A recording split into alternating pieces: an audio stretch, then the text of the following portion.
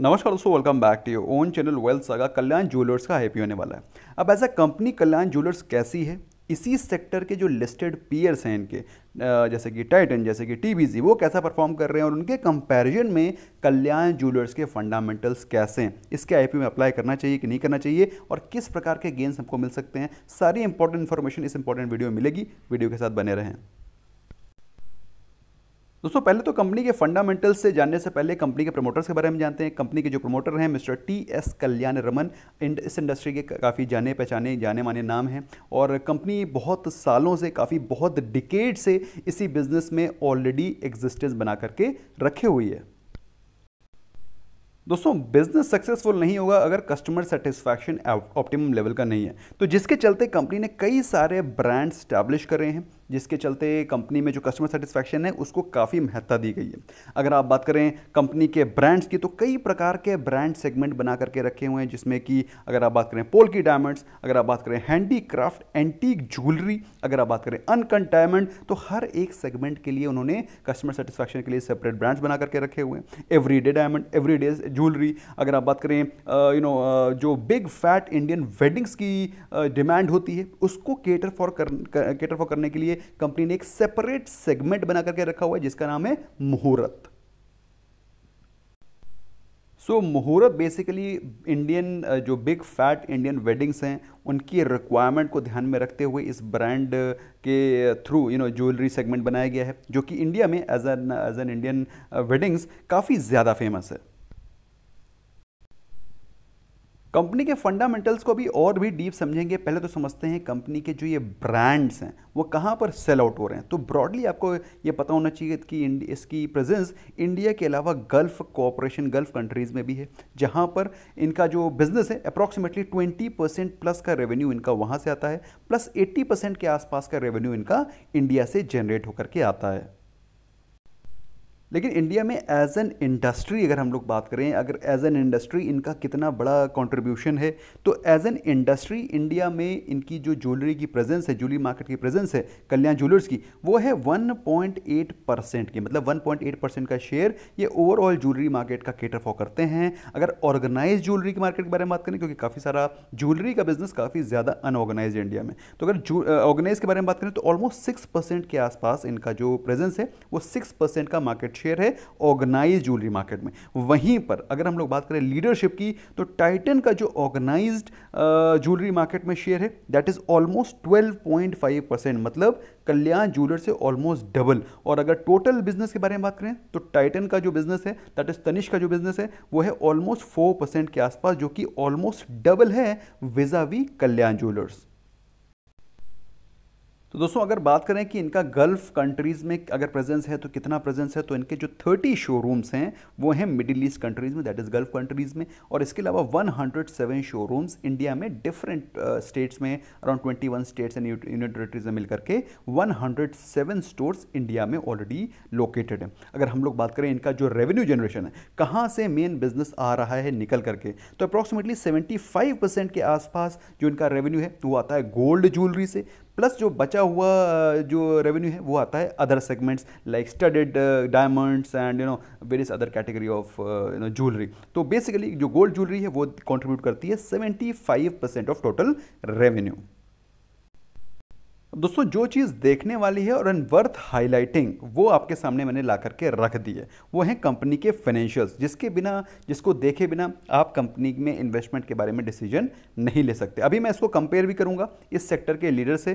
फ़िलहाल बात करें कंपनी के परफॉर्मेंस की, अगर आप बात करें पिछले साल के कुछ सालों के परफॉर्मेंस की तो मार्च टू में कंपनी में company was in profit profit after tax के बारे में बात करें तो कंपनी प्रॉफिट में थी। वहीं पर मार्च टू में it surprisingly came in loss that is 48 million की लॉस में थी in March 2019 that is financial year 18-19 में। अगर हम लोग बात करें मार्च 2020 में तो कंपनी वॉज़ इन प्रॉफिट और अभी दिसंबर 2020 के बारे में बात करें, जैसे एफ़ आई के बारे में बात करें तो कंपनी फ़िलहाल अभी लॉस में ही चल रही है। तो कंपनी के जो प्रॉफिट्स हैं, वो ड्विंडलिंग है। That is something which I am not very excited of जो कंपनी लॉस मेकिंग होती है, या फिर जिस कंपनी के फाइनेंशियल थोड़ा सा ड्विंडलिंग होते हैं इन्वेस्टमेंट पर्पज़ के लिए मैं थोड़ा सा उसमें केयरफुल रहता हूँ।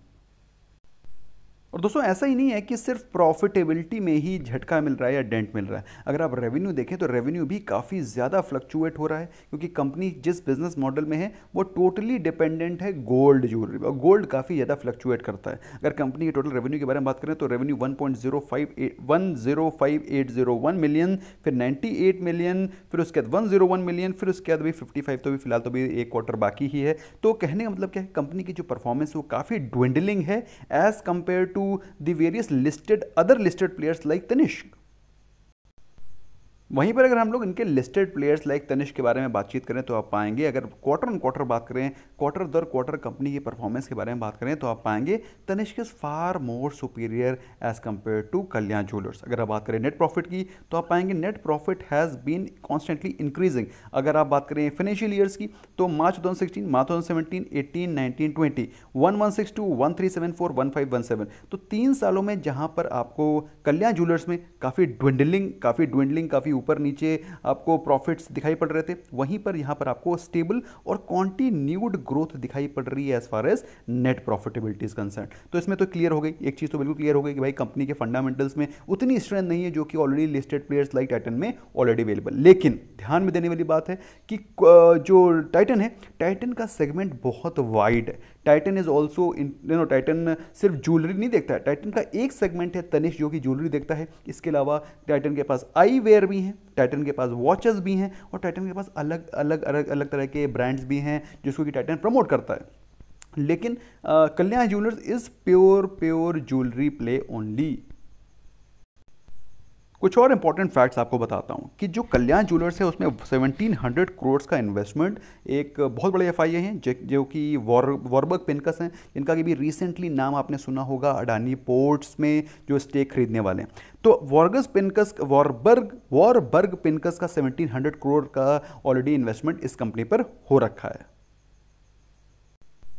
तो इसका मतलब क्या है? इसका मतलब यह है कंपनी के फंडामेंटल्स पे एफ़ आई को यकीन है। लेकिन अगर बात करें प्राइस टू अर्निंग रेशो की तो आप प्राइस टू अर्निंग रेशो देखेंगे तो जहाँ पर टाइटन का price to earning ratio is almost 185 वहीं पर कंपनी का price to earning ratio is 51 और लेकिन इंडस्ट्री के बारे में बात करें तो इंडस्ट्री का price to earning ratio is 23 तो कंपनी अगर बात करें टाइटन से तो टाइटन से तो सस्ती है अंडर वैल्यूड है। लेकिन इंडस्ट्री से अभी भी जो प्राइस बैंड कंपनी का है, वो थोड़ा सा ओवर की तरफ़ दिखाई पड़ता है। लेकिन believe you me guys according to me मेरे हिसाब से जो प्राइस है, वो ज़्यादा मैटर नहीं कर रहा है, क्योंकि मेरे हिसाब से प्राइस रीजनेबली वेल वैल्यूड है as compare to the business जिस प्रकार से कंपनी का बिज़नेस है, उस हिसाब से 51 का P is reasonably reasonably very well valued अब प्राइस टू अर्निंग में तो आपको पता चलता है कि कंपनी की वैल्यूशन ठीक ठाक ही, ना ज़्यादा सस्ती, ना ज़्यादा महँगी। लेकिन अगर बात करें ऑपरेटिंग प्रॉफिट मार्जिन की, जो कंपनी बिज़नेस करती है, उसमें कितना पैसा बचा पा रही है प्रॉफिट के रूप में तो कितने मार्जिन पे काम कर रही है तो वो है 5.91 percent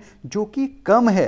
as compare to Titan जिसमें कि प्रॉफिट मार्जिन आता है तकरीबन बारह परसेंट के आसपास, वहीं पर टी के बारे में बात करें तो टी में जो प्रॉफिट मार्जिन है ऑलमोस्ट सिक्स का है। तो कहने का मतलब क्या है? कहने का मतलब ये कंपनी बड़ी ही ईमान ईमानदार कंपनी है, क्योंकि मार्जिन कम रख रही है, कम कस्टमर्स को बेनिफिट ज़्यादा दे रही है। तो अगर अगली बार गोल्ड ज्वेलरी खरीदना चाहते हैं तो कल्याण की तरफ़ आप सोच सकते हैं because they are working with a very thin margin तो as a customer you can very well look forward to Kalyan jewellers for buying fresh jewellery और उसको सब्सटैंशिएट कर रहा है। अगर बात करें कंपनी के प्रॉफिट मार्जिन की तो कंपनी का प्रॉफिट मार्जिन काफ़ी वेफर थिन है 1.4 परसेंट के आसपास। जबकि अगर टाइटन के बारे में बात करें तो 12 परसेंट का प्रॉफिट मार्जिन है। और अगर हम लोग बात करें टीबीजी की तो 6.3 परसेंट के आसपास का प्रॉफिट मार्जिन टीबीजी काम करते हैं। टी मतलब त्रिभु, त्रिभुवन दास यू नो इसी प्रकार जावेरी करके they very difficult name they have फ़िलहाल हम लोग टीबीजी नाम से जानते हैं उनको, और स्टॉक मार्केट में टीबीजी नाम से ट्रेड होता है। तो फ़िलहाल दोस्तों, अगर आप पाएँ तो पाएँगे कंपनी का जो फंडामेंटल्स हैं, वो कंपनी के fundamentals are basically as compare to peers थोड़ा सा वीक दिखाई पड़ रहे हैं। दोस्तों, मैं इसको टाइटन से कंपेयर ही नहीं कर रहा हूँ, क्योंकि टाइटन के पास कुछ और भी बिजनेसेस हैं लाइक जैसे कि मैंने आपको बताया वॉचेस आईवेयर लेकिन टीबीजी त्रिभुवन दास, जो कि प्लेयर जो कि क्लियर कट ज्वेलरी सेगमेंट के प्लेयर हैं, उनसे कंपेयर करें तो इनका price to earning ratio is close to thirteen जबकि यू नो इंडस्ट्री का P is around sixty seven sixty eight और जो जो कल्याण ज्वेलर्स का यू नो जो पी चल रहा है वो अप्रॉक्सीमेटली फिफ्टी प्लस चल रहा है। तो मेरे हिसाब से जो जो प्राइस बैंड रखा गया है कल्याण ज्वेलर्स का वो ज़्यादा महँगा नहीं है that is not over valued लेकिन कंपनी के फंडामेंटल्स वगैरह डीप जाएँ तो कंपनी के जो मार्जिन हैं वो इतने ज़्यादा इतने ज़्यादा बेहतर नहीं दिखाई पड़ रहे हैं। तो दोस्तों आईपीओ खुलेगा on sixteen of March 16 March से आईपीओ खुलेगा 16, 17, 18, 16 मार्च 17 मार्च 18 मार्च। प्राइस बैंड रखा गया 67 से 60 86 टू 87 मतलब 86 से 87 रुपीज़ के प्राइस रेंज में आप इसको बिड कर सकते हैं। लेकिन कट ऑफ़ के बारे में बात करें तो 87 ही आपको बिड करना पड़ेगा। अगर बात करें कंपनी के आईपीओ के बारे में तो कंपनी सिर्फ़ आईपीओ ही नहीं ला रही है बल्कि ओएफएस भी ला रही है। आईपीओ में 800 crore worth of stocks fresh issue किए जाएँगे और ओ भी लाया गया जो कि शेयर जो कि पुराने प्रमोटर्स के पास अपने शेयर्स हैं। 375 करोड़ शेयर्स प्रमोटर्स और share holder as an O भी मार्केट में सेल ऑफ़ करेंगे। सो so, अगर आप लकी होते हैं दोस्तों तो आपको अलॉटमेंट मिलेगा और अलॉटमेंट मिलता है तो ट्वेंटी थर्ड ऑफ़ मार्च को कंफर्मेशन हो जाएगा आपके अलॉटमेंट का और twenty six of March that is immediately after ten days of opening listing होगी। तो 26 मार्च को uh, मेरे हिसाब से अच्छी ओपनिंग होनी चाहिए। इस समय आई बहुत ही अच्छे सब्सक्राइब हो रहे हैं। अभी recently Easy Trip I almost 150 times subscribe हुआ है। तो आप समझ सकते हैं ये तो कल्याण ज्वेलर्स तो वेरी वेल प्राइस्ड है। इसका प्राइस भी काफ़ी वेरी वेल प्राइस रखा गया है। बिल्कुल महँगा नहीं है। ऑल दो फंडामेंटल्स में मैंने आपको जो इश्यूज़ रेज किए वो तो आपको समझ में आए होंगे। लेकिन प्राइसिंग के बारे में बात करें तो कल्याण ज्वेलर्स बिल्कुल भी महँगा दिखाई नहीं पड़ रहा है।